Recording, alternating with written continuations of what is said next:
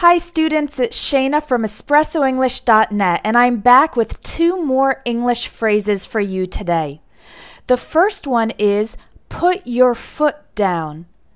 If you put your foot down in a situation, it means you make a decision and then you assert that decision or that position very strongly.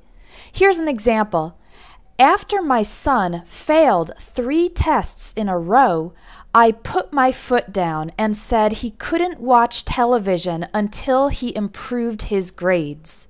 As you can see, I put my foot down means I made a decision, I enforced that decision very strongly, and nothing can change it. It's a firm decision. Let's take that same situation and use it to learn the other phrase. My son's grades were not so great during the whole year, but when he failed his final exam, that was the last straw.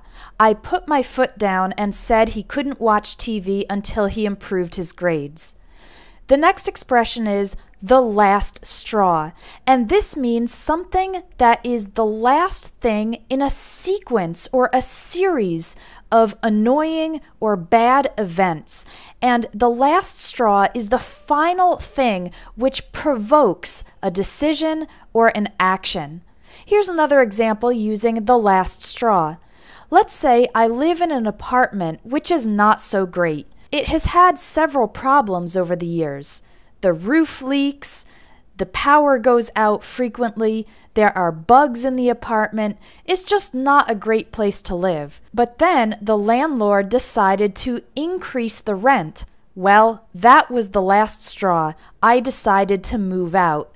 Again, the last straw is the final event in a sequence of things that have been bad, and the last straw is the one that finally makes that situation impossible to tolerate. So let's review. Our two expressions for today are put your foot down, meaning to make a decision, a firm decision, and assert it strongly in a situation, and the last straw, meaning the final event in a sequence of events which finally makes the situation intolerable, forcing you to take action. Thanks for joining me today, and I'll see you next time.